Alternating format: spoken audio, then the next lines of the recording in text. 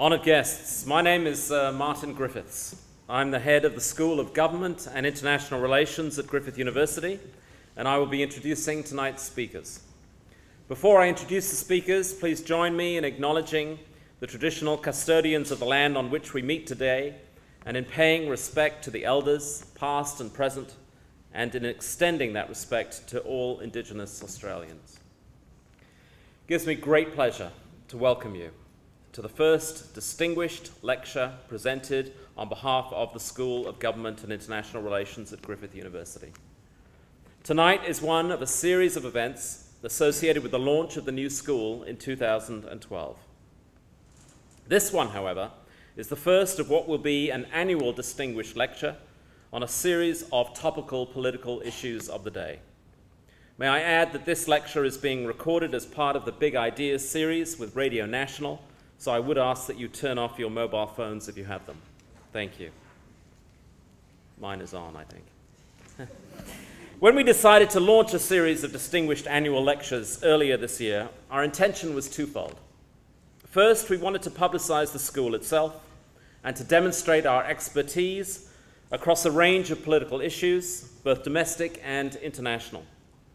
Second, our school prides itself on the policy and public relevance of its research. In addition to exhibiting this relevance in our teaching at Griffith University, we were also looking for opportunities to reach a broader public audience. I think tonight's lecture should do nicely in fulfilling both tasks, although the question in its title, What's Wrong with Our Leaders, surely doesn't require any great academic expertise to answer. To suggest why there might be more to the answer than a lengthy list of the personal failings of Julia Gillard and Tony Abbott, we're extremely fortunate tonight to have two speakers who have made the subject of leadership, particularly in a democratic context, a sustained focus of their examination. Professor John Kane. Professor Kane attained his doctorate at the London School of Economics. He works and teaches in the fields of political theory, political leadership, and US foreign policy. He has been a visiting professor to Yale University not once, not twice, but three times, he is the author of numerous books, including The Politics of Moral Capital and Between Virtue and Power The Persistent Moral Dilemma of U.S. Foreign Policy. Our second speaker, Professor Haig Patapan, he did his PhD in politics at the University of Toronto. His research interests are in democratic theory and practice, political philosophy, political leadership, and comparative constitutionalism. He is published in the foremost political theory journals and his books include Judging Democracy, an examination of Australian judicial politics, and Machiavellian Love, a theoretical inquiry into the origins of modern political thought. And John and Haig have a long history now of working quite closely together, although they tell me that even though they like each other very much, they don't agree on many things. But they've co edited a number of books in recent times uh, exploring the changing nature of legitimacy, law, and leadership, especially in Asia. Books such as Globalization and Equality, Westminster Legacies, Dissident Democrats, Dispersed Democratic Leadership, Political Legitimacy in Asia.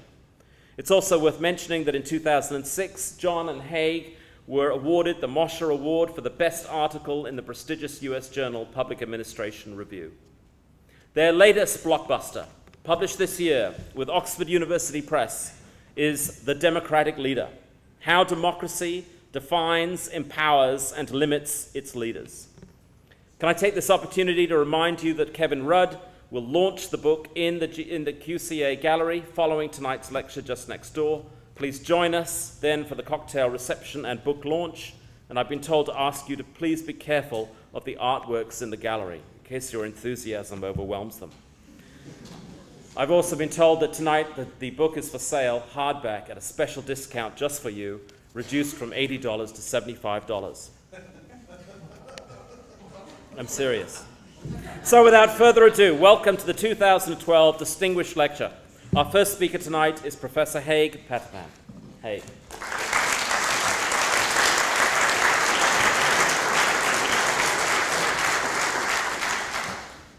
Uh, thank you, Martin, I think. Uh, distinguished guests, ladies and gentlemen, colleagues and friends. Uh, it is a, indeed a great honor for both John and me to present this uh, first distinguished lecture for the School of Government and International Relations. Uh, it's also, of course, a great pleasure to see so many familiar faces in the audience, and I want to acknowledge and wish a special hello to our Canadian and Danish friends today. Uh, I must confess I'm feeling somewhat nervous. Uh, the reason is that we've never done this before. We've never done a kind of baton presentation before. So I want to display strong leadership and courage from the beginning. and by saying that if anything is amiss, the fault is entirely John Kane's.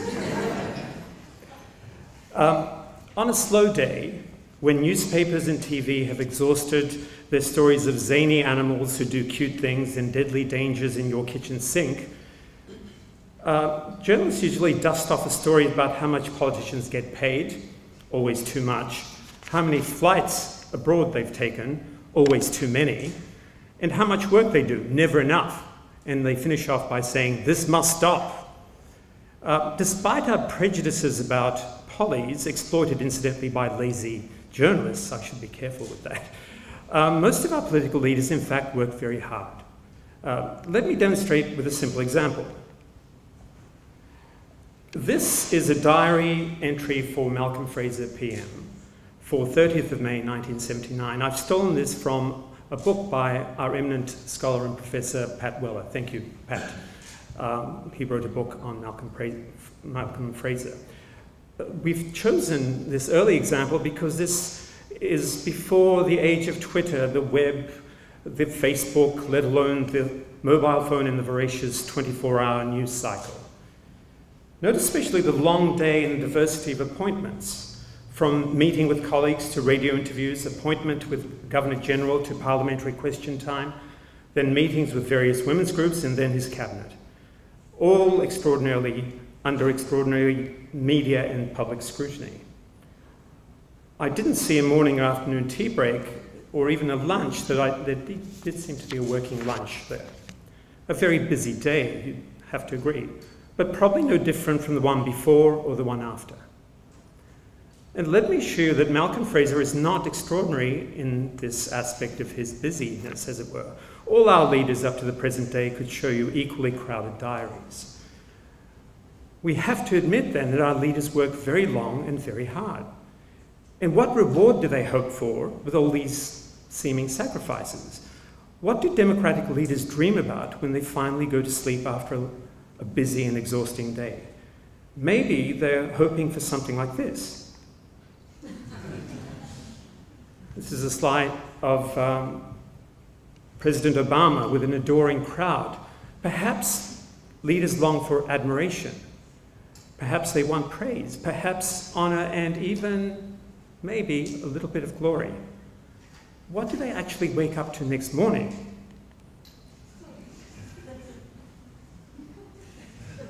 Isn't it curious in Australia how we are ruthless in our assessment of the character and performance of our politicians?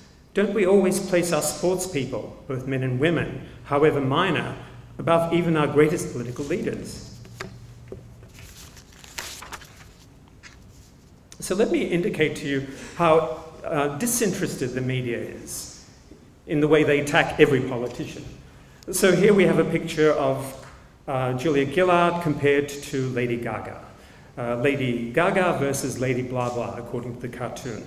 Is politics really showbiz for ugly people, as some, some claim? In the spirit of uh, equality, uh, the cartoon shows a big eared, rock headed creature with layers of commitments to miners, farmers, and the last layer apparently made of igneous rock, God, and pollsters. Uh, is this how we should see Tony Abbott as a conviction politician? We shouldn't forget people who are going to join us very soon. Um, cruel caricatures follow leaders even in hospital. The title reads for the radio Rudd's secret surgery extras to fit him for a return as PM. Kevin Rudd's character flaws are linked to his body parts and displayed for public amusement. My favourite, as you can see, is the bigger eyelids for more sleep. We shouldn't forget local leaders. we have Can-do Campbell, apparently full of energy, yet in army uniform, his previous career, a brave little soldier with sand bucket and spade. What are we to make of this gap between what leaders hope for and what they get? The words of Lee Kuan Yew, the founder of modern Singapore, are helpful in this context. Lee once claimed, and I quote, If nobody's afraid of me, I'm meaningless. When I say something to make it easier for me to govern, I have to be taken seriously. As these cartoons show, we certainly do not fear our leaders in a democracy. And if, as Napoleon put it, power is never ridiculous, then we must conclude that democratic leaders lack power, for they are constantly subject to ridicule. So, if the title to this lecture is What's Wrong with Our Leaders, I think we need to add Why do we treat our leaders this way? It may surprise you that these questions regarding democratic leadership have received very little attention. The reasons for this neglect and how we've sought to remedy it are the themes that my colleague John Kane will address now.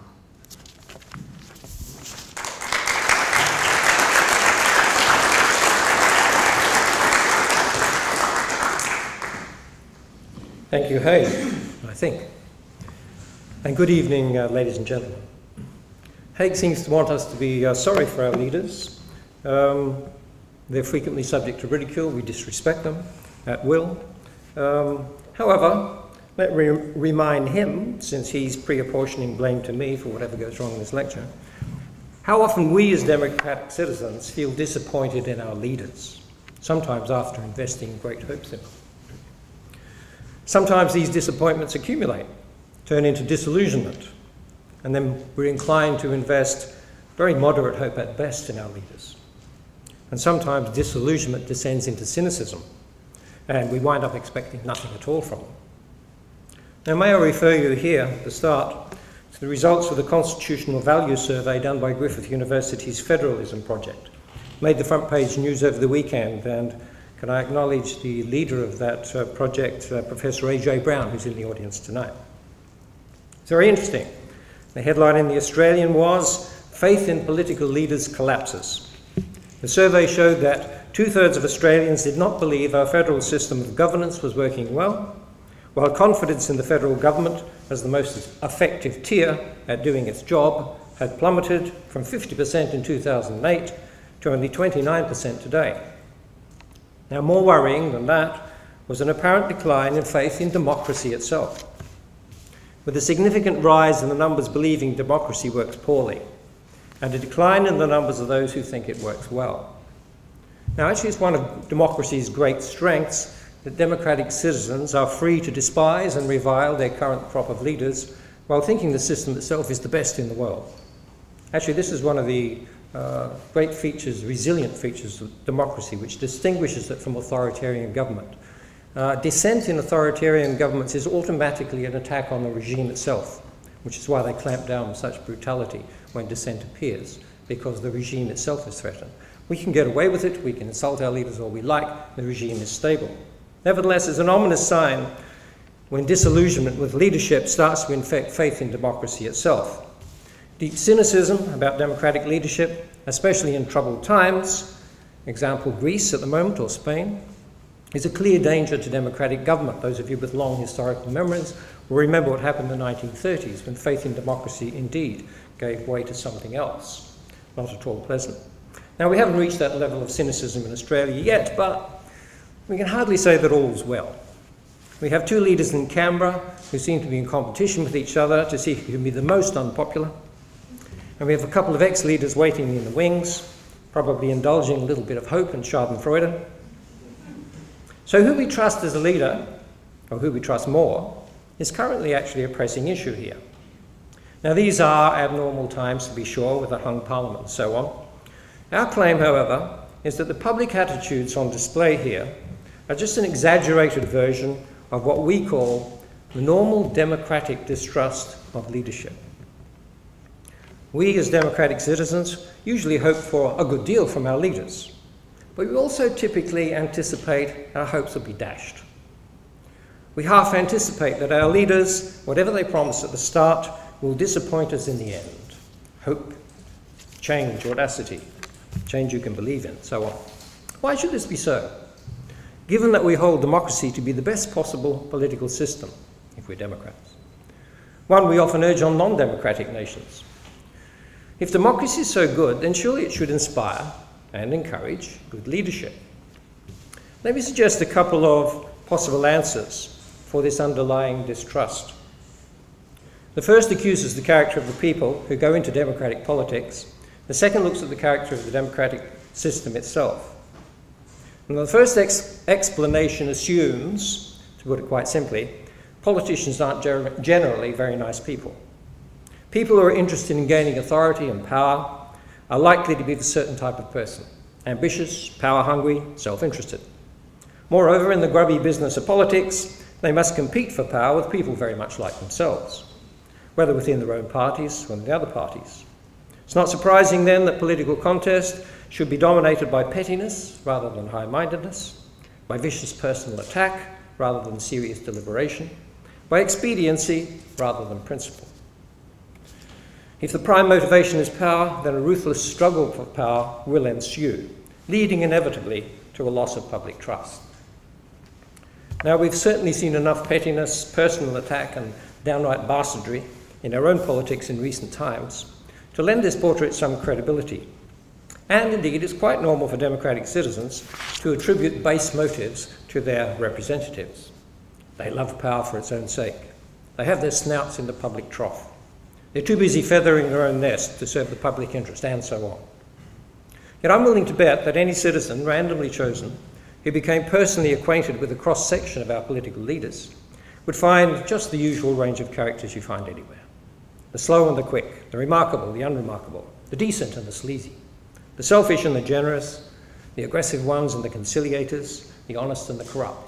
Honoured guests, Even my the name best is of uh, them, no doubt, Griffiths. will have some I'm the head of of the School of Government and as we all International. Relations at Griffith University. But if we won't And I will be find any pervasively wicked characteristics Before I introduce the of speakers, class, please join me in surely we acknowledging must look beyond the traditional custodians of the land on which we meet today What's wrong with our and in paying respect to the We elders, claim that the most important and place to look is and into in the nature of extending that democracy respect itself. to all Indigenous Australians. Now, we're not arguing that It gives me character is relevant, far from it. to welcome you. We all peer constantly through the revealing yet obscuring screen of the media to try and discern the real character of our leaders. Are they competent Tonight or not? Are they trustworthy or not? Are they sincere or associated not? with the launch of the new school. Leadership character matters to us very deeply as democratic citizens. This one, however, However, we want to go beyond that obvious fact and argue that leadership in a democracy demands a certain kind of leader. May I demands one above all being who recorded as part instinctively understands, or at least can Radio learn on the job, So I would ask the unique turn off your advantages and mobile phones if you constraints that democracy places on leadership. As a political system and as a poli- political When we decided ideal. to launch a series of distinguished What we're saying is that all democratic leaders year, are inevitably forced to confront a general First, we problem wanted of to democratic publicise the school itself This is a to problem I, demonstrate I our suspect that we're expertise all across a range aware of political issues, we never both quite domestic explicitly international. Indeed, the book we're launching after Second, this lecture school is the first, we think, to on explore the policy issue and public relevance of its research. Let me try to explain the nature of the In problem by relating briefly how Haig and I came to write the book. We were also Both of us were interested in leadership questions, and Haig suggested one day, why don't we do a book on democratic leadership? I think tonight's lecture should I do nicely in fulfilling both to death, for sure. Although the question But I couldn't in think its of any recent work, so we did some further research. Surely and, doesn't um, require any great to academic virtually expertise nothing to on democratic leadership.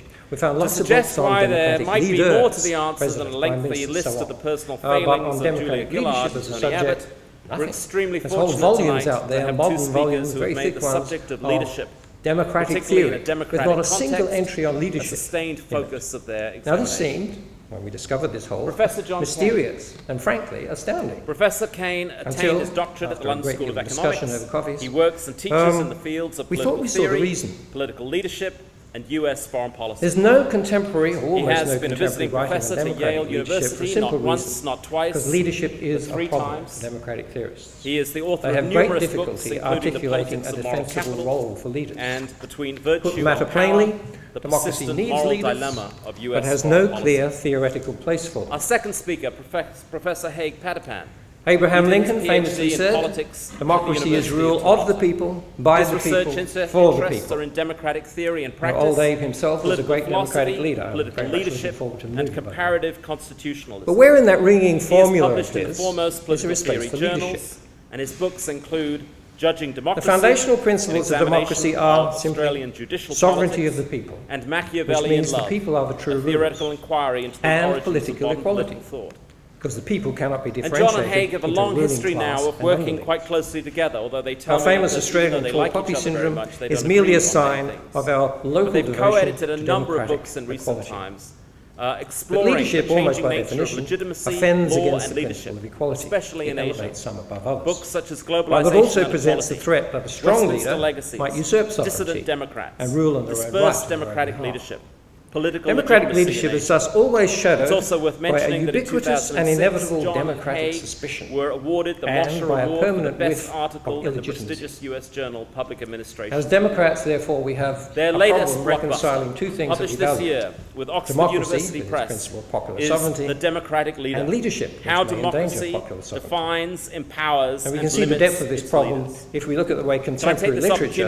has dealt with it or failed to. Will launch the book. Now, I know I said previously that we found almost no literature on the subject, but we did actually find an older literature for the went back to the early 20th century, mid-20th century, I've been told to ask written by people like Joseph Schumpeter and Giovanni Sartori, who argued for a, what they called elite democracy. I've also been told that tonight now, in elite democracy, sale, a few superior leaders you, are chosen periodically by the people and chosen precisely on the grounds of their evident superiority.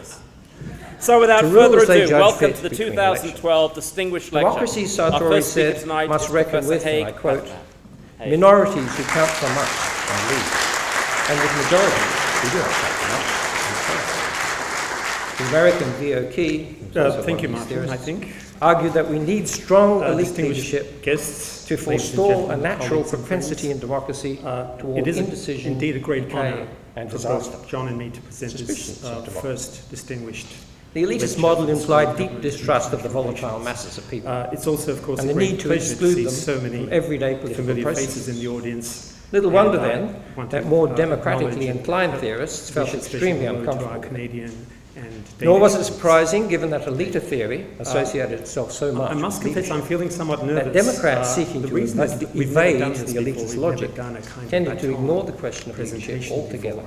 So I wanted to say began instead to explore more democratic forms of democracy. And by with names if anything is amiss, the fault is entirely like participative democracy, associational democracy, um, above all, on a slow day democracy. when newspapers and TV implicit, have exhausted stories of zany animals who to delineate a form of democracy that would effectively sink. dilute or even eliminate uh, the need for journalists usually dust off a story about how much politicians get paid, always too much well, if only everyone could be involved in decision making, always too many. Democracies wouldn't need. And how much work they do? Never enough. And now, the problem with these alternative this must stop. of democracy, the uh, elitists, uh, despite the our prejudices about is that they set up false choice between either strong leadership, believed democratic. Uh, or no uh, Most of our political leaders, in fact, work very fantasy. hard. Uh, let me demonstrate. With it's as we're example. forced to choose between Vladimir Putin on the one hand, this is a diary government by a permanent 2020 committee on the other for 30th of May 1979. I've stolen this from a book but these are false alternatives. Scholar and professor. And they don't help us to understand the way leadership is actually um, practiced. He wrote a book on democracy. Contrary to the presumptions of participatory democrats, most citizens continue to see strong leadership before the age of Twitter, the web, yet at the same time, Facebook, let alone the mobile most people regard powerful elites as democratically illegitimate. From meeting with colleagues The inability of either option to capture this contradictory to reality time, means that the middle ground in which meetings with democratic leadership and then actually operates and must all operate extraordinarily remains under largely extraordinary media and public scrutiny. But if Democrat, Democrats I genuinely didn't see a morning afternoon tea break, even while being wary of the potential I- threat they represent, did seem to be a what are they to do? there a very busy the traditional day. answer I have to agree. this has been, but probably no different okay, from one before well, or the one after, or try to. And let try to reduce that Malcolm Fraser risk by placing our leaders under strict controls and set limits to their authority. All our leaders up to the present day could show you equally The ultimate control mechanism is, of course, dismissal through popular We have to admit, then, that our leaders work The ability to dismiss leaders for unsatisfactory performance and what reward attests to the fact that never the people's masters, always their servants. What do democratic leaders dream about when they finally go to sleep? After and yet, despite this, busy despite all the other systems of popular and legal maybe control we've devised, something like this. Nevertheless, nevertheless, remains an element of compromise in this arrangement. This is a slide of uh, granting extensive authority President Obama with an adoring crowd, even if only for some defined period, seems to violate the spirit of popular sovereignty. Perhaps they want Some have argued, indeed, that between elections, what in reality we're forced to endure is an elective tyranny we are placed under the temporary rule of our so-called servants, who often act in ways we don't like. Popular sovereignty Isn't may be a fine idea, in, in theory, critics say, but in the end it's nothing more than a myth. We are ruthless concealing in some rather tyrannical facts of the character and they respond to this view by asserting our belief. Don't we always place our sports people, both men and women, however minor, above the popular sovereignty is not just the noble lie, nor is it a sound ideal hasn't quite been realised. So let me indicate to you. It's rather a principle that operates continuously to both enable and constrain. In the way they attack every politician. In a democracy. So here we have a picture of. Fundamental tension uh, between Julia Gillard and compared to Lady Gaga. Uh, Lady Gaga versus Lady Blah, according to the cartoon. Its effects are most clearly seen, people, in the way democratic leaders conduct themselves and have in to the conduct themselves of, uh, as they do their best to lead. This is our central uh, argument the cartoon this democratic tension makes the ground on which the democratic leader stands perpetually with layers of commitments. In fact, it makes to miners, farmers, and the last layer apparently made of igneous rock. God it's simultaneously the strongest and the weakest form. Uh, is this how we should see it turning out because it has a foundation politician. in popular consent. We shouldn't it's weak because the shadow of illegitimacy hangs over every leadership action. Um, Democracy cannot Cruel caricatures follow leaders, but it's a very peculiar form of leadership. The title reads under the guise radio, of representation. Rudd's secret surgery extras. This is a curious concept, one that presents Kevin Rudd's character flaws are linked to his body parts and displayed for public amusement. My favourite, as you can see, is the bigger island.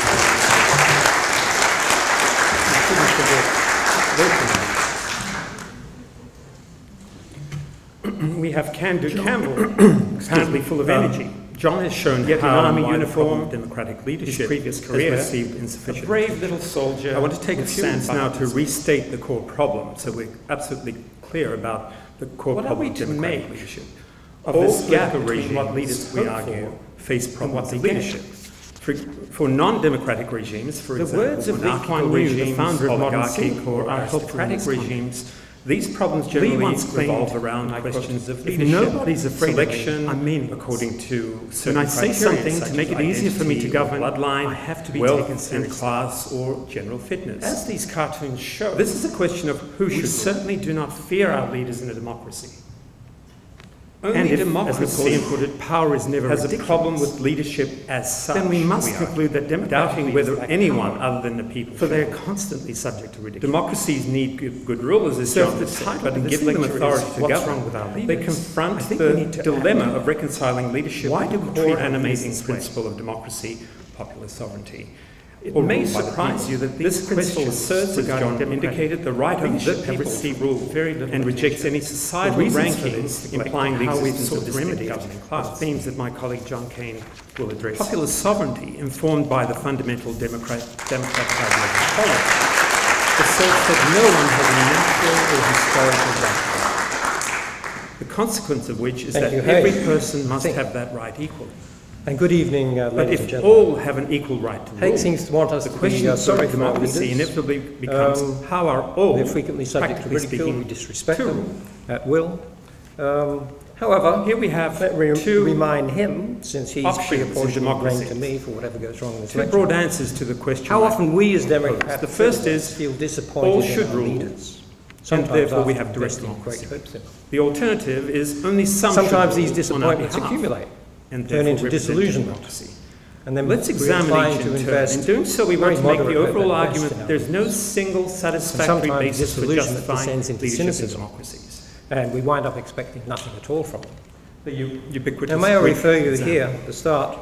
In a direct democracy, where everyone takes part in ruling, everyone is federalism leader. Project made this the front page news of the weekend. Democratic um, leadership. Can I acknowledge the but leader of that uh, project, uh, Professor First, there's the Brown, problem of size and feasibility.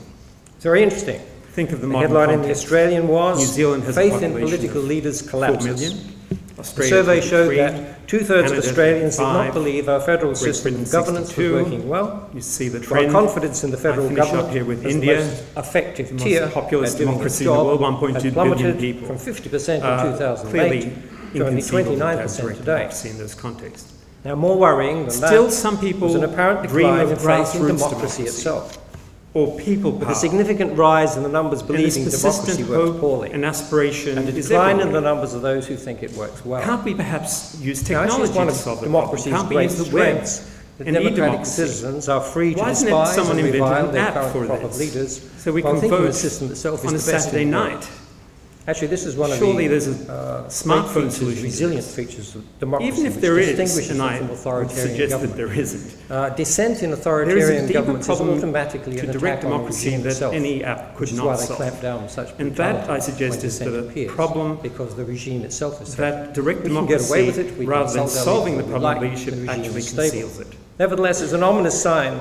Let me explain what I mean. Practical limitations mean that all cannot govern itself or dedicate cynicism all time to about democratic leadership, Some, especially all, in troubled bring times. on for consideration. Example: Greece at the moment, or Spain. Assemblies of it's people a clear danger to democratic government, authority, but must be periodically reconvened. Well, remember what happened an executive body that, in the nature of things, indeed, will be the main initiator of motions for general review. Now we haven't reached that level. Since agreement by all is seldom if it, we can if hardly say that all's well. Actual decisions. We have two leaders will come down Canberra, to majority rule. Seem to however, you competition with each other majority. to see who can be the, the swaying majority will therefore be an essential. feature we have a couple of ex-leaders waiting in the wings. All these factors will serve to introduce leaders into direct democracy, even so if they're given innocuous titles such as secretary. More? or chairperson or here. first citizen. Now these are aboriginal times before, I'm sure. Parliament, so, so, the problem for leaders in our claim, democracy however, is that their is authority that the and legitimacy display cannot simply be are just an exaggerated version even if everyone understands normal the democratic they can act as leaders only by asserting that they are not. We as democratic citizens Any public usually hope for a good deal from our leaders. usurpation of popular sovereignty. Typically anticipate our hopes will be dashed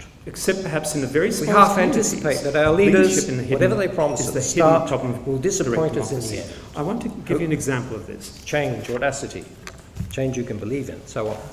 Why should this um, be so? This draws on research from that we hold democracy Daniela to be the best possible Thank you, Daniela, political system. Your book on Marcos.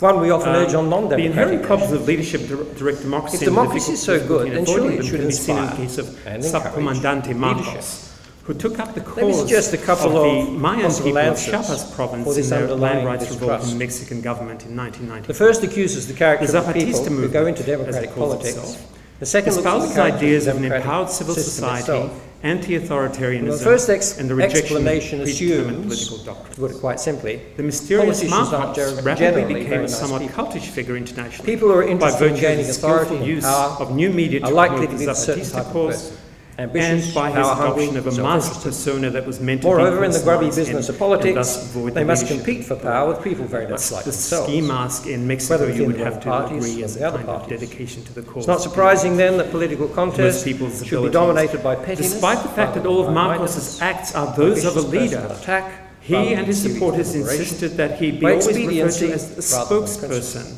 of the Zapatistas never If the prime motivation is power, then Marcos's political writings included parables meant to appeal to indigenous culture and conversations with an imaginary beetle. Now we've certainly seen enough Durito, which personal attack slide, downright bastardry Durito, in our own politics who in recent exposed times. his weaknesses to lend this portrait some credibility. and indeed, it's quite normal for uh, democratic citizens to attribute uh, base Marcos is understandably trying to avoid traditional Latin American caudillismo or strongman leadership. They're too busy feathering their own nest to serve public and so on. But as his very face and appearance shows, citizen randomly chosen, help but stand personally the acquainted with attempting not to lead, would find just the usual range of characters you find anywhere. The slow and the quick, the remarkable, the unremarkable. So now I want to take a few minutes to talk about representatives. Selfish and the generous, the other arrow, the aggressive ones and the conciliators. The, the alternative to direct democracy, what even the best almost all no modern doubt, democracies have, is ruled by some and failings, on our behalf. we all do. In practice, this means people. But if we won't find any pervasively wicked characteristics among representatives of the class, in representative democracies, we have a choice of selecting our representatives in two ways. The first is by we claim that the most important and the second is by election. into the nature of democracy. As we itself. will see, each form is beset with its own. We're not arguing democratic that character election. is relevant. Far from it. We all lot. peer constantly through the revealing yet obscuring selection by lot, media, where chance determines the office the holder, is the, is the most democratic because it gives everyone an opportunity and thus implicitly Leadership assumes no significant difference among candidates.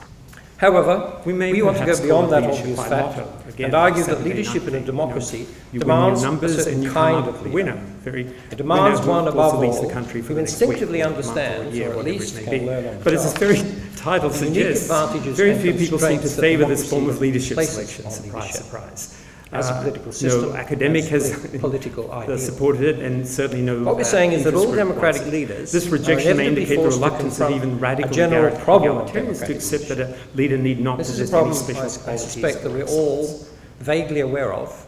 But we never quite election of representatives appears to be the next, next most democratic method of ruling in turn and choosing leaders. In representative democracies, leaders are popularly elected and remain accountable to the people's judgment and ultimate authority. Both Should they fail to please or exceed their authority, the people may dismiss them at the next election. In this I way, the popular principle to death, for sure. The, the principle of but popular I couldn't think of any recent work, so we did some further research and um, surprised to of course, elections and constituencies may be organised. We found lots of books on in many different leaders, complicated ways, and arguments so continue uh, about democratic which leadership democratic, subject, for example, proportional whole volumes out there, modern volumes, very thick ones, various preferential systems. democratic theory. Western political history has witnessed the steady development of successful elections in involving an ever-expanding franchise and, gradual reduction Until formal formal qualifications demanded of, of candidates. Um, this we is widely and justly heralded as a triumph for representative democracy. There is no contemporary representative no democracy is, however, at some tension with the idea of popular rule. Because leadership is why. a problem for democratic. Firstly, representative democracy is not ruled by the people, but rather ruled with the consent Put the matter plainly, such consent being granted or withdrawn Mm. but has mm. no mm. clear intervals. theoretical place for it. Secondly, the fact that leaders inevitably and expectedly exercise Abraham Lincoln famously said, on democracy is rule of the people, the by the people, principle of for the people. Equality. Now, the effect of these compromises on the principle of popular rule is to engender a deep-seated but where in that ringing formula of his, about their is there a space for leadership?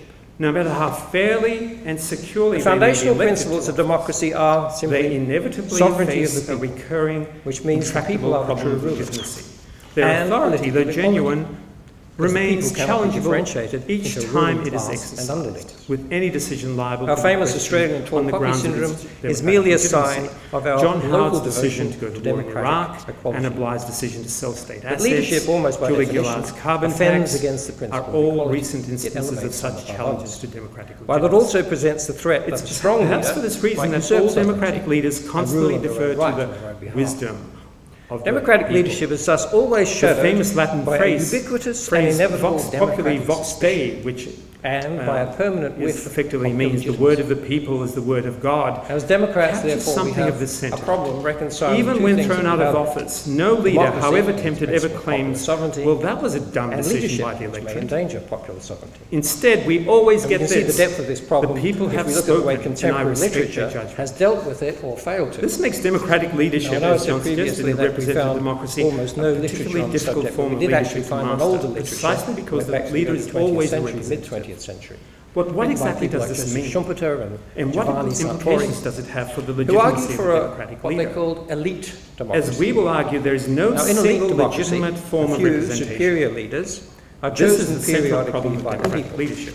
And chosen precisely fact, on the grounds of their as I'll demonstrate in a few minutes, there are three distinct versions the rule of proper they judge form and function of democratic representation Democracy, Sartori said, must reckon with, this I is quote, minorities These, who count for much and summarize or to and with majorities are called agent representation, mirror representation, and American trustee representation. Key, who's also Let's examine them in turn to see what they mean and what they strong say about elite leadership democratic leadership. to forestall a natural propensity in democracy toward An agent representative is someone instructed to present my specific views and defend my interests. The elitist model implies agents who are told what to do claim to have a quote-unquote and mandate need to exclude them from the everyday political process. As agents, they will certainly be rejected then, if they don't follow instructions. For example, if they promise to do something, induce taxes and a war. Nor was it uh, surprising, given that elite theory and then not proceed itself so much with leadership. After all, I'm and the boss, and I employ these people. Evade so the elitist logic Therefore, in some ways, the agent looks more like a servant than a leader. They began instead to explore more. If I'm wise, I'll choose an intelligent agent who understands what I want, even if not given strict instructions. Like so that an agent who's trustworthy and honest will guard my welfare even at his or her expense. Such an agent implicit, is obviously never acknowledged to others who lack such admirable was to delineate a form of democracy leaders as agents would are thus ironically undemocratic because, like the famous fictional servant Jeeves, stated, and we think they managed to combine discreet civility with was it if only everyone superior. could be involved in decision making, democracies wouldn't need leaders at all. Now, the, problem with these form of representation I want to talk about is mirror representation. In mirror representation, electors, electors, electors choose leaders who resemble them in some important aspect. Undemocratic or no leadership. The assumption, I think, is that people who look like me will somehow represent my interests, as though we're forced to choose between Vladimir Putin on the one hand, it's also or government by a permanent 2020 committee on the other. Mirror representation appears the most democratic because it retains the notion, These the false of identity between representative and they don't help us to understand the way. In a sense, the leader I've chosen is me, or at least in some real. way. Contrary to the presumptions of participatory democrats, if we most only citizens had twins, continue to see we strong see leadership from as picture, the case of the Polish Yet president at the same time, Kaczynski, who died unfortunately in a most people regard powerful elites as and his brother Yaroslav Kaczynski, who, in other words, yes to leadership, of to permanent elites. The inability of either identity to capture this in New Zealand, means where the Maori have since 1867 had seats reserved for them in Parliament on the assumption that they needed representation as a distinct people. The if Democrats genuinely need and want leaders, even while being wary of the potential threat they represent, what are they to do? Indeed, we celebrate leaders now, because of this identity politics. To this has been, think of Barack okay, Obama as the first African-American president. Senator Neville we Bonner. Tried to reduce the, the leadership risk by placing our leaders under Julie strict Gillard is the first set limits to their authority, Quentin make them Rice, accountable for any exercise. General. The ultimate control Indeed, mechanism. Indeed, regular demands for diversity in all leaders all testify to the ability to dismiss leaders for unsatisfactory performance. A test but can we always assume that people who look like us have our welfare at heart? and you can dismiss. Is it not true that once in power, a person, however like us, may often go their own popular way. and legal control we've devised? In any case, nevertheless, nevertheless can we with any confidence say what a woman leader, for example, granting should extensive do in authority particular to particular individuals, even if only for some defined period, seems to violate the spirit of popular sovereignty. Some have argued, indeed, that between elections, what in reality we're forced to leadership endure I want to, is an representation. I want to discuss third. We are placed under the temporary rule of our so-called servant, trustee, who often act in ways we don't like. Popular the sovereignty may define idea, someone I respect for possessing qualities and virtues that I greatly admire, but which I like myself. In democratic terms, someone who embodies... Respond to this view by asserting our belief it is uh, Edmund Burke's famous trustee who will pursue the, the good as he is not firmly sees it, irrespective life. of the wishes. Nor is it a sound ideal; it hasn't quite been realised yet. Burke, who was an Irish it's rather a principle that operates continuously in his to both enable and constrain Bristol, declared that while he accepted their wishes and opinions, fundamental tension between leadership and popular sovereignty is real. He could and not sacrifice his unbiased opinion, his mature judgment. Its effects are most clearly seen, we say quote, in the way your representative owes you not his industry only, but his judgment. As they do and he betrays instead of serving you if he sacrifices it to your opinion. This democratic tension makes the ground on which the democratic leader stands by Tony Blair in his resignation speech in, in fact, it makes democratic leadership said, the most difficult of all kinds. I ask you to accept one thing. It's simultaneously the strongest and the weakest form of leadership principle of superiority in wisdom and judgment clearly tests because the shadow of illegitimacy hangs over every leadership action. Similarly, more recently, Julie Gillard has responded to questions of ALP But it's a very peculiar by form of saying she doesn't govern by polls, but by what's right representation. Australian people. This is a curious concept, one that presents an interesting set of conundrums. Each of these conceptions of leaders, as Haig will representative, mirror, agent, or trustee offers a different basis of leadership of the problem is not just that each presents problems of democratic compromise, but as Democrats, we tend not to distinguish clearly um, between them. John has shown how we're liable to demand that our leaders display all three qualities of representation at once. I want to take a few minutes now to restate. We want our leaders to be just like us but also much better than the core problem of democratic. We want a genuinely great leader who's nevertheless humble and has a leadership. common touch. For, we want someone who will do our bidding, listen to us, and not break promises, yet we will hold in contempt the leader who merely follows problems generally has no vision and refuses to make tough selection according to this conflation, incidentally, is not surprising since identity, wealth, servantship, and, moral strength are all necessarily combined this is a question in the democratic idea of leadership. It also points to the perpetual problem democracy. that democratic leaders has a problem with leadership. Leaders in a representative democracy are made out in whether anyone to the accusations of democratic illegitimacy because Democracies need are rulers are changeable and but giving them authority to govern, they shift they one type of representative the dilemma of reconciling leadership as well as animating principle because no single incontestable basis exists for leadership. People this principle asserts, as John indicated, the right of this politics of legitimacy and rejects any will always ranking and be implying the existence of distinct government. With politics as usual, shaping the nature and efficacy Popular of sovereignty informed by the fundamental democratic democratic To see this in greater detail, the John that no one has the natural trust historical right and truth-telling for democratic leaders. The consequence of which is that every person must have that right. but if all have an equal right to the question for democracy you, inevitably becomes how are those all, contradictory expectations that Haig has noted that we impose on our leaders has important implications to every aspect of democratic options in democracy different ones in our book. Two broad answers to the question I posed. The first is all should rule, um, and therefore we have to take note, so I want to focus the alternative on one topic is only some should rule on our behalf, is the moral and therefore topic representative democracy.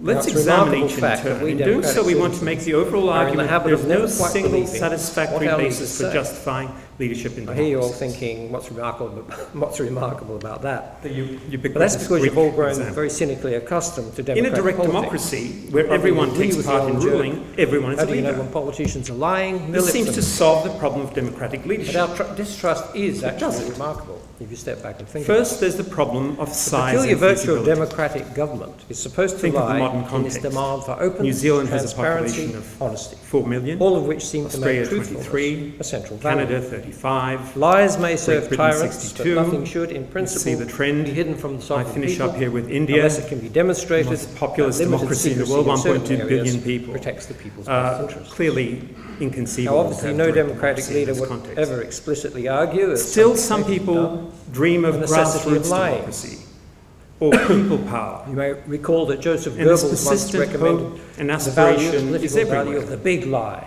Told loudly and repeated use often. technology to solve the problem? Any How democratic leader who confessed to such an e-democracy would pay an immediate. Why isn't it someone invented an price. app for this? I must know so we can vote for possible exception to this from the recent US presidential Surely there's an election campaign. smartphone solution to this. Mitt Romney's pollster, man Even if there is, Newhouse, and I boasted, would suggest that quote, there isn't. We're not going to let our campaign be dictated by fact to direct democracy that any fact checkers are those solve. annoying newspaper and people that, I suggest, scrutinize everything politicians say and then award that direct democracy, rather than solving the problem of leadership. Newhouse was admitting that Romney intended to lie.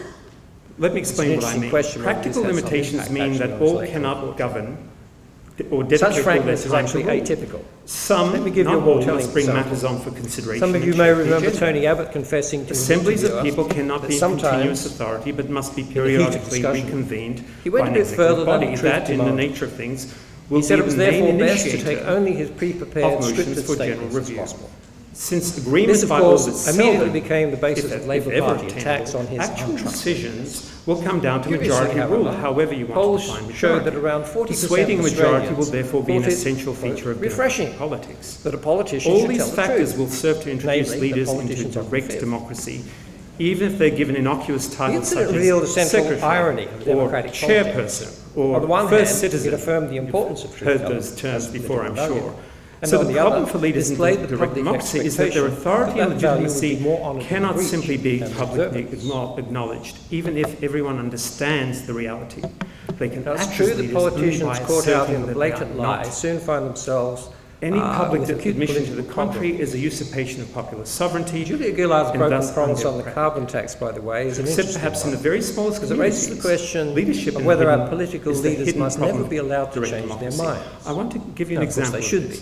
If shifting circumstances make them unable to keep a promise, um, this draws um, on research from our colleague Daniela Di Thank you, Daniela. Contrary mm-hmm. evidence, your book on Marcos. of their original position. Um, the and inherent problems of leadership and direct democracy and the difficulty in avoiding them can be seen in the case of Subcomandante Marcos, who took up the cause of the Mayan people of Chiapas province in their the land rights revolt in the Mexican government in 1994. The Zapatista movement, as it calls itself, espouses it's ideas of an empowered civil society, anti-authoritarianism, the and the rejection of President Ronald Reagan was an anti-tax conservative. The mysterious Marcos rapidly became a somewhat cultish figure internationally by virtue of his skillful use of new media to promote the Zapatista cause and by his adoption of a masked persona that was meant to depersonalize him and thus avoid the leadership dilemma. It all depends on how the, the ski mask in Mexico you would have to agree as a kind of dedication to the cause. We should note, however, that in politics most there are liars. Despite the fact that all of Marcos's acts are those of a leader, he and his supporters insisted that he be always judge, referred for example, to as the spokesperson of the Zapatistas, never as a leader. Of lies, there will be Marcos's political writings included parables meant to appeal to indigenous culture and conversations with an imaginary beetle called Durito, which you'll see in the slide. That beetle called Durito, who exposed his weaknesses and constantly punctured his pretensions to personal. Now, unless uh, extreme everyday circumstances, uh, people Marcos feel they is have understandably trying to avoid traditional Latin American people feel they have little option or strongman leadership, who they suspect as well as leftist, leftist vanguardism. They're perfectly but this very face and appearance politicians shows incapable help of but stand up, especially when he's attempting not to lead. Evasions and avoidances are the hallmark of the typical political response getting sceptical. So now I want to take a few minutes to talk about representative democracy, which is the other arrow you recall from the slide. What we're pointing to here is the alternative to direct democracy. What we find in almost all modern democracies is this hypocrisy is sometimes taken on our behalf. in practice, this means people malaise, rule through their representatives or practically speaking, in deficit. representative But it's democracies. actually a permanent. In representative democracies, we have a choice of selecting our representatives look at the case of in two democratic ways. leader. The first is by lot, Václav Havel, and the second is by election. who came to the As we presidency will see, each form is determined to abide by the value of democratic leadership.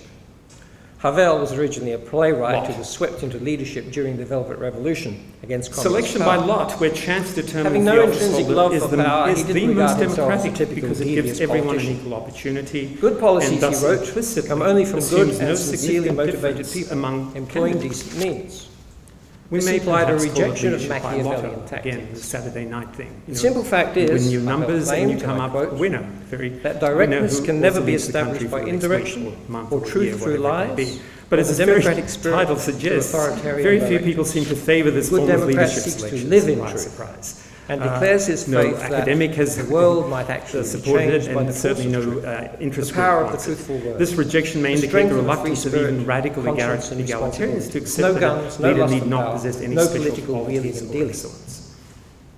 Now, have I election of representatives appears to be the next, next most democratic well, method of ruling in turn and choosing leaders. Is that not what we In representative democracies, leaders are popularly elected and remain accountable to the people's judgment. Power and ultimate authority. Should they fail to please or exceed their authority, the people may dismiss them. But the manufacture of weapons election. In this Why? way, the popular principle of, jobs, the, the principle of popular sovereignty can be said he desired to have been reconciled NATO and the Warsaw Pact. And of course, some of the main players in the Czech Republic may be organised NATO in many different and complicated ways, and arguments continue about which of the derailed of countries, for example, nuclear power plants, representation, operating, first past the post, or various preferential systems. Why? Because the nation. Western political history has witnessed a steady development no one ever doubted of successful elections involving an ever-expanding franchise clearly and been gradual reduction in, the the of action that person demanded of candidates. Disinterested. This is widely and justly heralded as a triumph for representative democracy.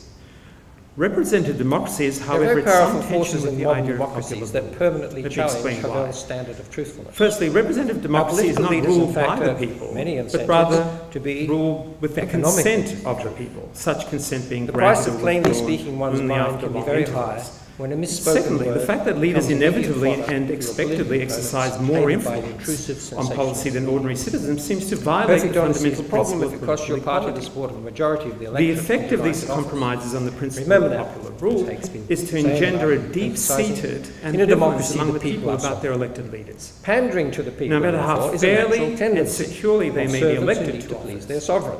they inevitably face a recurring intractable problem of legitimacy, to which part their authority, though genuine, remains challengeable each time it is exercised, with now, the any voice decision people, liable the voice of the people may on be the, grounds of its God, democratic legitimacy. Said, John Howard's decision to go to war in Iraq, Anna Bligh's decision to sell state assets, divided into Julie Gillard's carbon tax are all recent instances of such challenges to democratic legitimacy. Leaders have no choice it's but to shape their for this reason that all democratic leaders constantly defer to the This means they must often blandly obfuscate issues the famous Latin phrase, policy, phrase "vox populi, vox Dei," which offend someone. Uh, is sometimes they will means feel the that word of the people is the word of God, captures something Romney's shape shifting during the even US when thrown out of office no leader however tempted ever claims had to appeal to one well, that was a dumb decision by the electorate.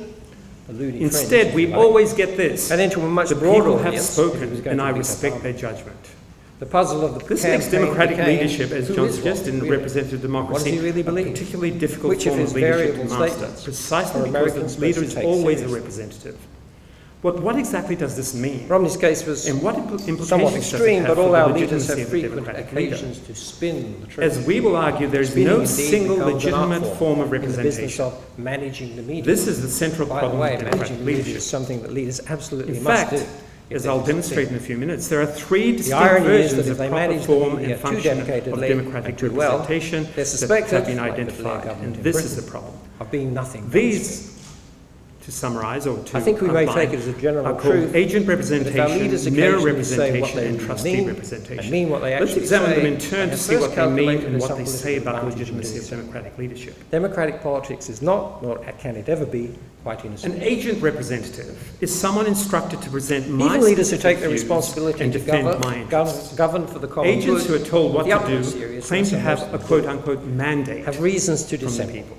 This is not As agents, they will certainly be rejected if they don't follow instructions. For example, if they promise to do but something, also because the leader's judge taxes, the common good war, uh, actually require uh, sign a treaty, and then not proceed. The multitude will approve. After all, I'm the boss, I employ manage this. So the argument. Something of a trick. Therefore, in some ways, the agent looks more like a servant. Navigating between the various contradictions that Haig. If I'm wise, I'll choose an intelligent agent who understands what I want, even if not given. And the use of different legitimating justifications. So that an agent who's trustworthy and honest will guard my welfare, even at his or her in face. Of damaging Such an agent is obviously superior to others who lack such and assert that they are listening talented leaders as agents are thus ironically undemocratic because, like the famous fictional servant Jeeves, may thus be portrayed they manage to combine discreet civility with evidence. Responsible exercise in democratic accountability.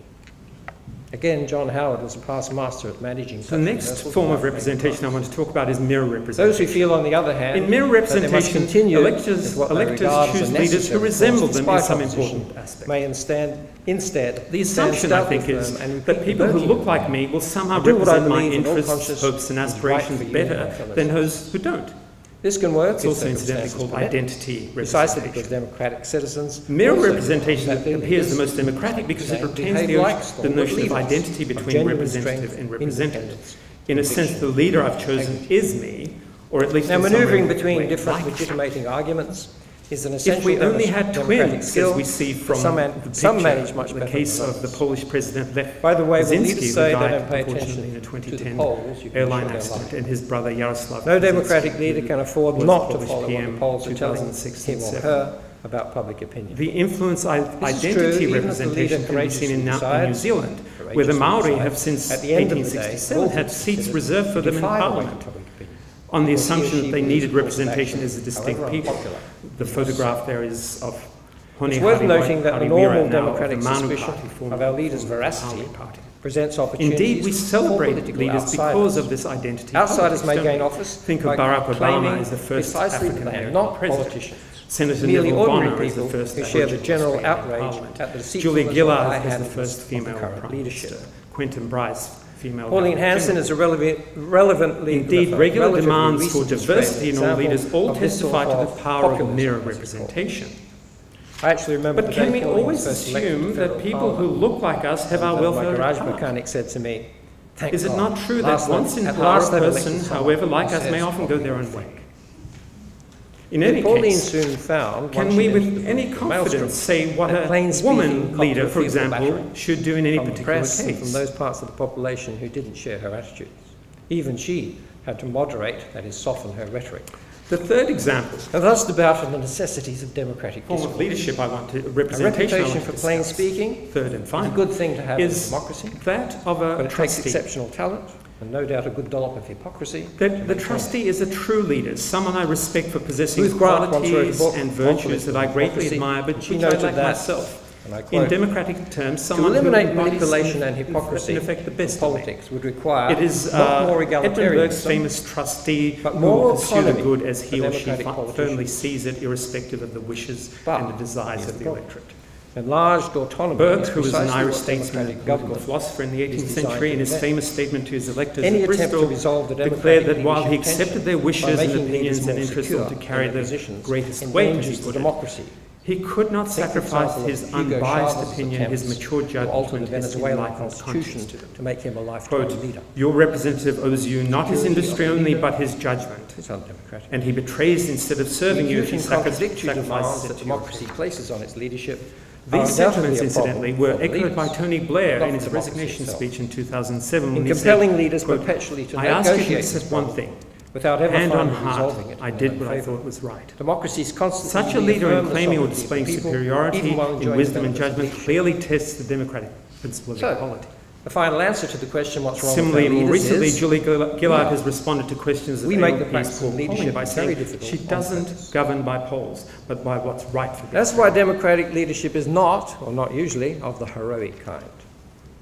Like Each of these conceptions democratic representative. Leaders, the democratic citizens, mirror, agent, wish that it was so offers a different basis of leadership legitimacy in a democracy. Sometimes rather demeaning. The trouble with them is not just that each presents problems of democratic compromise, but as Democrats, we tend not to distinguish clearly between them. With which Hay began this. We're liable to demand that our leaders display all three qualities of representation at once. Let me explain what I mean. He wrote, "We want our leaders to be just like us, be feared, but also much better than us." Why?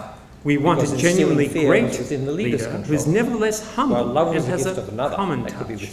We time. want someone who will do our bidding, listen to us, and not break that promises, not yet we will hold in contempt a leader who, who merely follows polls, has no vision, and refuses to make tough and unpopular decisions. As the bouncing this conflation, incidentally, is, is not surprising since identity, servantship, and Leading moral strength are all necessarily combined in the democratic idea of leadership. It demands a certain quiet, it also points to the perpetual problem of trust that democratic leaders must manage. But it's seldom public. Leaders in a representative democracy are democratic leaders have no choice but to navigate as best they can between because the twin such accusations are changeable and contradictory because they shift from one type of representative leadership to the other, as well as irrefutable because no single incontestable basis exists for leadership role in democracy. And that's why it's so difficult to be a democratic leader. This politics of legitimacy will always accompany and be interwoven with politics as usual, lecture? shaping the nature no. and efficacy of political Practically, our duty as democratic citizens to give them To the see this in greater detail, John Kane will now examine the importance of trust to better understand the onerous and contradictory demands that we, we ourselves, impose on our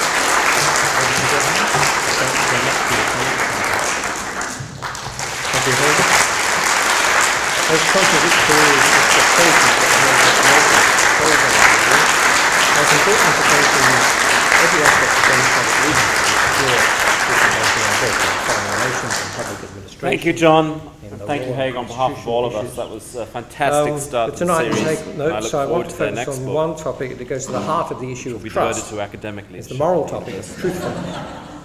Now, it's I was waiting there for some democratic answers. citizens I was waiting there for the all the problems to be resolved believing because what I like about say. books In the final chapter, thinking, what's here's the problem, here's what you have to do. That.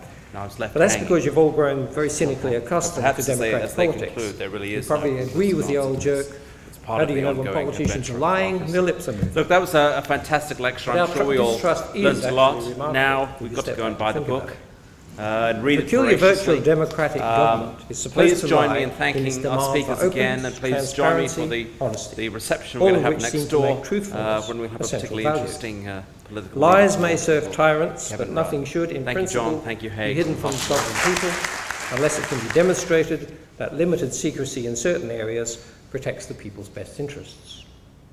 Now, obviously, no democratic leader would ever explicitly argue, as some dictators have done, the necessity of lying. you may recall that Joseph Goebbels once recommended the value, the political value of the big lie, told loudly and repeated often. Any democratic leader who confessed to such a belief would pay an immediately, immediate political price. I must note one remarkable exception to this from the recent US presidential uh, election campaign. Mitt Romney's pollster, a man called Neil Newhouse, boasted, and I quote, We're not going to let our campaign be dictated by fact checkers. Fact checkers are those annoying newspaper people who scrutinize everything politicians say and then award a certain number of Pinocchios for accuracy. Newhouse was admitting that Romney intended to lie. It's an interesting question whether this had some impact actually on his electoral fortune. Such frankness is actually atypical. Let me give you a more telling example. Some of you may remember Tony Abbott confessing to an interviewer that sometimes, in the heat of discussion, he went a bit further than the truth demanded. He said it was therefore best to take only his pre prepared scripted statements as gospel. This, of course, immediately became the basis of Labour Party attacks on his untrustworthiness. Curiously, however, polls showed that around 40% of Australians thought it, quote, refreshing that a politician should tell the truth, namely, that politicians often fib. The incident revealed a central irony of democratic politics. On the one hand, it affirmed the importance of truth telling as a political value, and on the other, displayed the public expectation that that value would be more honoured in the breach than the observance. Now, it's true that politicians caught out in a blatant lie soon find themselves uh, with acute political problems. Julia Gillard's broken promise on the carbon tax, by the way, is an interesting one because it raises the question of whether our political leaders must never be allowed to change their minds. Now, of course, they should be. If shifting circumstances make them unable to keep a promise, um, or if they've become convinced of the weight of contrary evidence, of the incorrectness of their original position. And, in fact, they will be allowed to if, if they explain to the public immediately and frankly precisely why the promise can't be fulfilled. Failure to do so allows the opposition to label the original promise nothing but an expedient lie and to inflict considerable political damage. It's interesting to speculate why, another example in the United States, President Ronald Reagan, who was an anti tax conservative, was forgiven for reluctantly raising taxes to counter a ballooning deficit, while his successor, George H.W. Bush, was defeated in election largely because he broke a promise read my lips, no new taxes. It all depends on how the leader manages the matter, but it has to be managed. We should note, however, that in politics there are lies and there are damned lies. People do discriminate between degrees of seriousness. If they judge, for example, that their leaders have taken them into a disastrous war on the basis of lies, there will be consequences. As there were for the leaders of almost every country that supported the Iraq invasion of 2003. Actually, the sole exception to that was our own John Howard, who very candidly played the issue without harm to his own leadership. Now, in less extreme everyday circumstances, people feel they have people feel they have little option but to tolerate leaders who they suspect seldom tell them the whole truth. They're perfectly frustratingly aware that politicians are incapable of giving a straightforward answer to a simple question. Evasions and avoidances are the hallmark of the typical political response, giving sceptical listeners an impression of moral slipperiness or even calculated deviousness. What we're pointing to here is a prevalent hypocrisy in democratic politics. This hypocrisy is sometimes taken as a sign of a current democratic malaise, what's been labelled elsewhere as a democratic deficit. But it's actually a permanent feature of democracy, we think. It's instructive to look at the case of a democratic leader, Václav Havel, who came to the presidency of Czechoslovakia determined to abide by the value of truthfulness. Havel was originally a playwright who was swept into leadership during the Velvet Revolution against communist power. Having no intrinsic love for power, he didn't regard himself as a typical devious politician. Good policies, he wrote, come only from good and sincerely motivated people, employing decent means. This implied a rejection of Machiavellian tactics. The simple fact is, Havel claimed, and I quote, that directness can never be established by indirection, or truth through lies, or the democratic spirit through authoritarian directives. The good democrat seeks to live in truth and declares his faith that the world might actually be changed by the force of truth, the power of the truthful word, the strength of a free spirit, conscience, and responsibility, with no guns, no lust for power, no political wheeling and dealing. Now, have I only to read those words to hear many of you sigh? Perhaps. Well, why do you sigh if you do? Is that not what we all long for? Consider what happened to Havel when he was in power. He spoke passionately about closing down his country's huge arms industry. But the manufacture of weapons continued. Why? Because, of course, large numbers of jobs and foreign income depended on it. He desired the disbandment of NATO and the Warsaw Pact, only to become one of the main players in the Czech Republic's bid to join NATO, because, of course, the, the alliance afforded many advantages. He railed at his country's nuclear power plants, but they went on operating till eventually he ceased to mention them. Why? Because the nation needed power. We could go on. No one ever doubted Havel's sincerity, not even his political opponents, but he had clearly been naive in his estimate of the freedom of action that personal disinterestedness, disinterestedness and goodness of intention could bring to a democracy. There are very powerful forces in modern democracies that permanently challenge Havel's standard of truthfulness. Our political leaders, in fact, have many incentives to be economical with the truth. The price of plainly speaking one's mind can be very high when a misspoken word becomes immediate fodder for your political opponents, aided by an intrusive sensationalist media. Perfect honesty is a problem if it costs your party the support of the majority of the electorate and denies it office. Remember now, as Haig's been saying and I've been emphasising, in a democracy the people are sovereign. Pandering to the people, therefore, is a natural tendency of servants who need to please their sovereign to maintain their position. And the trouble is, for the leader, to which part of the actual people must they direct their pandering if it's to be effective? Now, the voice of people, the voice of the people may be the voice of God, as has said, but the people are a many-headed God with a multitude of voices. They're divided into diverse constituencies with widely diverging opinions and interests that can't all be met. Leaders have no choice but to shape their rhetoric to this plurality. This means they must often blandly obfuscate issues rather than clarify them with positive policy, because positive policy will surely offend someone. Sometimes they will feel that they must say things they don't really believe. Romney's shape-shifting during the US campaign was a direct consequence of the fact he had to appeal to one audience to win the Republican nomination, the loony fringe, if you like, and then to a much broader audience if he was going to beat Obama. The puzzle of the campaign became who is Romney really? And what does he really believe? Which of his variable statements were Americans supposed to take seriously? Romney's case was somewhat extreme, but all our leaders have frequent occasions to spin the truth. Spinning indeed becomes an art form in the business of managing the media. By the way, managing the media is something that leaders absolutely must do if they're to succeed. The irony is that if they manage the media too dedicatedly and too well, they're suspected, like the Blair government in Britain, of being nothing but spin. I think we may take it as a general truth that if our leaders occasionally say what they really mean and mean what they actually say, they have first calculated there's some political advantage in doing so. Democratic politics is not, nor can it ever be, quite innocent. Even leaders who take their responsibility to govern, for the common good with the utmost seriousness, and most of them do, have reasons to dissemble. This is not just because of the need to triangulate carefully between sectoral interests, but also because the leader's judgment of what the common good actually requires may differ from what he knows the multitude will approve.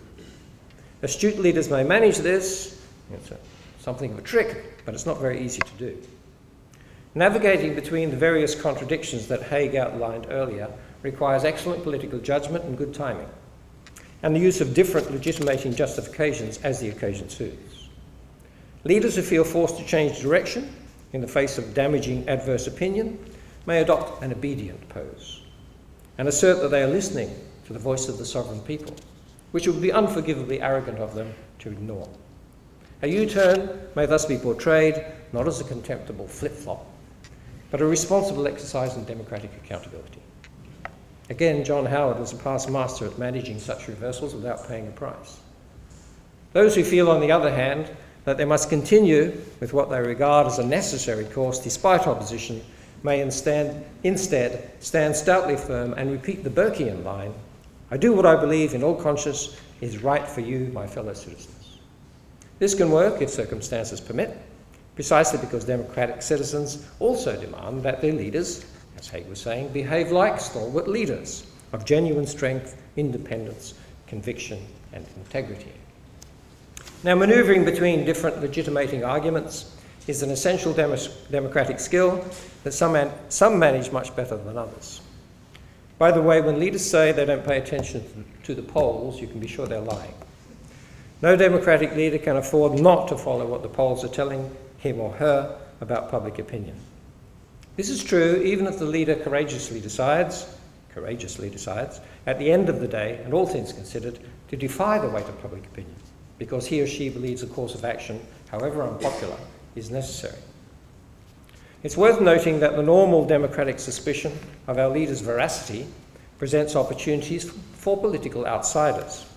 Outsiders may gain office by claiming precisely that they are not politicians, merely ordinary people who share the general outrage at the deceitfulness or high handedness of the current leadership. Pauline Hanson is a relevantly, sorry, relatively recent Australian example of this sort of populism, as it's called. I actually remember the day Pauline was first elected to federal parliament, and, and uh, my garage mechanic said to me, Thank God, last at last they've elected someone who says what we all think. Yet Pauline soon found, once she'd entered the political maelstrom, that plain speaking copped her a fearful battering from the press and from those parts of the population who didn't share her attitudes. Even she had to moderate, that is, soften her rhetoric. And thus debated the necessities of democratic discourse. A reputation for plain speaking is a good thing to have in a democracy, but it takes exceptional talent and no doubt a good dollop of hypocrisy to maintain it. Ruth Grant once wrote a book on political hypocrisy, and she noted that, and I quote, to eliminate manipulation and hypocrisy from politics would require not more egalitarianism, but more autonomy for democratic politicians. But, here's the problem enlarged autonomy is precisely what democratic government is designed to prevent. Any attempt to resolve the democratic leadership tension by making leaders more secure in their positions endangers the democracy. Think, for example, of Hugo Chavez's attempts to alter the Venezuelan constitution to make him a lifetime leader.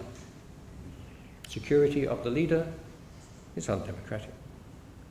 The acute and contradictory demands that democracy places on its leadership are undoubtedly a problem for the leaders, but not for democracy itself. In compelling leaders perpetually to negotiate this problem without ever finally resolving it in their own favour, democracies constantly reaffirm the sovereignty of the people, even while enjoying the benefits of leadership. So, the final answer to the question, what's wrong with our leaders, is we are. We make the practice of leadership very difficult on purpose. That's why democratic leadership is not, or not usually, of the heroic kind, much as we'd like to see this. Democratic leaders, indeed democratic citizens, wish that it were so. but the reality is generally very different, sometimes rather demeaning and embarrassing.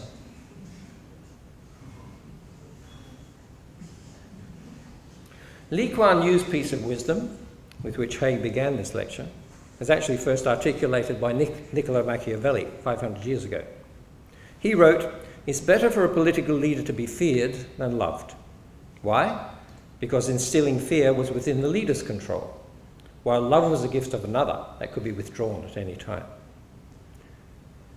That choice is not open to a democratic leader, who must of necessity strive to be loved or at least not too much hated. As the bouncing polls show, this isn't easy to achieve consistently. Leading in a democracy is, in fact, often an intensely humbling experience. It demands a certain quiet, tenacious heroism. We usually call it having a very thick skin, but it's seldom publicly recognized. Democratic leaders have no choice but to navigate as best they can between the twin poles of public idealism, heightened expectations, and corrosive cynicism, disappointment, disillusion trying to temper the one while forestalling the other. It's never an easy task. And that's why it's so difficult to be a democratic leader and so very difficult to be a good one.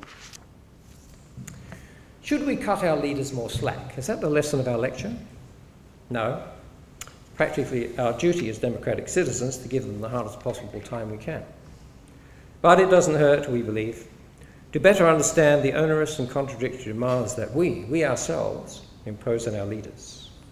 Ladies and gentlemen, we thank you very much for your attendance and your attention.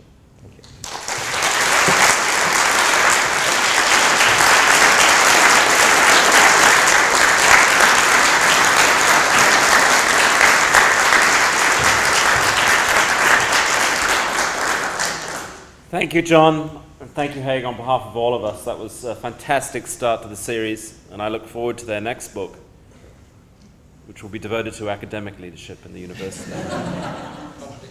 and I was waiting there for some answers. I was waiting there for all the problems to be resolved because what I like about books in the final chapter is here's the problem, here's what you have to do. And I was left hanging and still hanging. But perhaps as they, as they conclude, there really is no conclusive answer to this. It's part of the ongoing adventure of democracy. Look, that was a, a fantastic lecture. I'm sure we all learnt a lot. Now we've got to go and buy the book uh, and read it voraciously. Um, please join me in thanking our speakers again, and please join me for the, the reception we're going to have next door uh, when we'll have a particularly interesting uh, political leader to launch the book, Kevin Rudd. Thank you, John. Thank you, Haig, Hartlepool.